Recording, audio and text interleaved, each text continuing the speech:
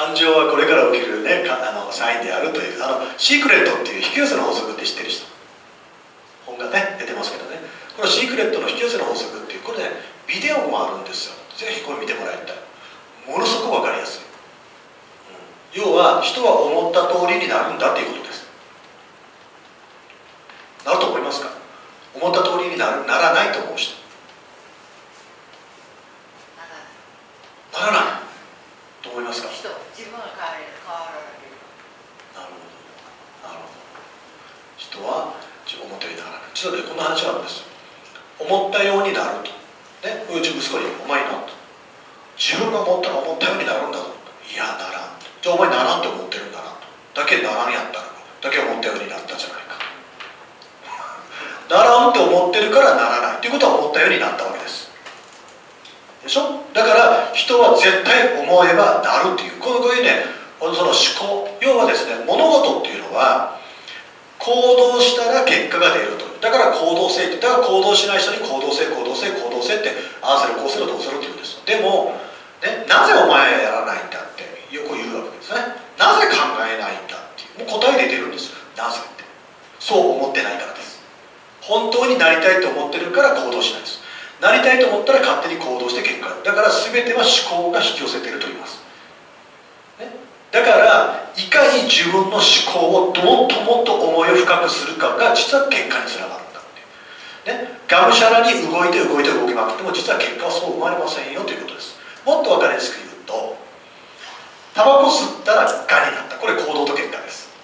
じゃあ本当にそうだった違いますね本当はタバコをやめきれなかったからがんになったんです。つまり思考の結果です。でしょ？悪いって分かってるんですか？でもやめきれなかったっていう思考の結果。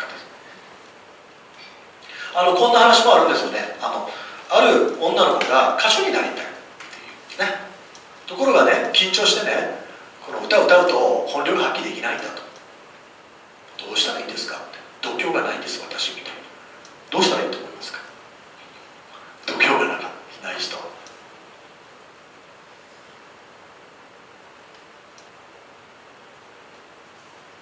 経験を積めば度胸がつく。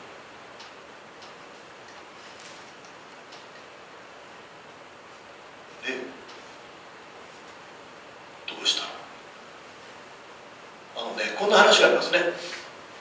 親子で頑張って、えー、より歌手を目指していた。それは娘の夢であったけども同時にお母さんの夢でもありました。だから一緒にレッスンに行っても一緒に連れて行きオーディション一緒に行き応援しでも彼女はいつも緊張して本領を発揮できずいつも落とされるいいとこまで行って落とされるわけです。そんなある日。電話がかかります娘のとこ。ろお母さんが事故で大変だと。病院に駆けつけるんです。するともうお母さんがもう瀕死の状態。もうダメだと、ね、そしてお母さんが最後に言うんです娘に。ね、私の夢を叶えてって。あなたはできるって。いう一言言うわけです。そして息を引き取るんです。そして娘はステージに立ちました、ね、その前にその時に私は何をやってたんだろうって、ね、本当に歌手になりたいって思ってたのかなと、ね、そう思いながら実は不安で不安で間違ったらどうしよう失敗したらどうしようっていうことどうしようっていうことばっかりだった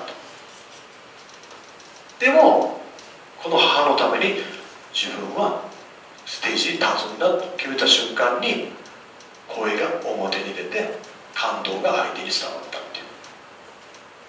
さあここで問題です。この彼女は経験したでしょうか？してませんね。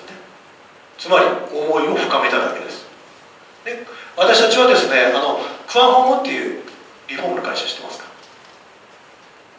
知らない大改造劇的ビフォーアフターってあるでしょ？あれは長崎版で30分でこう放送してる。実はあの会社は私がしてるんですけどあのあの番組制作を実は僕がしててあの僕のすごく分かるのがあります。本当の本当にやってる人思いがあってやってる人と口だけでやってる人。カメラを向けたら一発です。カメラを向けると思いが浅い人は緊張が勝って喋れない。ところが緊張あ思いが深い人は緊張よりも思いが勝つんでしっかりと自分の言葉を出せます。カメラを向けて。だからカメラを向けたらこの人が本物か偽物かってすぐ分かります、うん、これは何かって経験じゃないんです。思いの深さです。いかに思いを深く持つかという、まあ、こんなことですね。はい。まあ、全然関係ないところに来たその吹き寄せる法則という一節の中にこんなのがあります。感情はこれから起きる出来事のサインでありますよということです。苦しい悲しい辛い嬉しい楽しい愉快。ね。この時に引き寄せるのは悪いことです。この時に引き寄せるのはいいことです。つまり皆様が社員と関わった後の最後のゴールはこれにしてください。